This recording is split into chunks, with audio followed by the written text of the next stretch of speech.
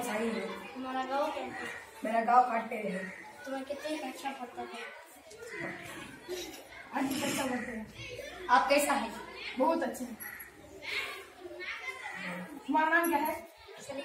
तुम्हारा गाँव क्या है? लद्दी हम तुम कैसे हैं? अच्छे। ठीक।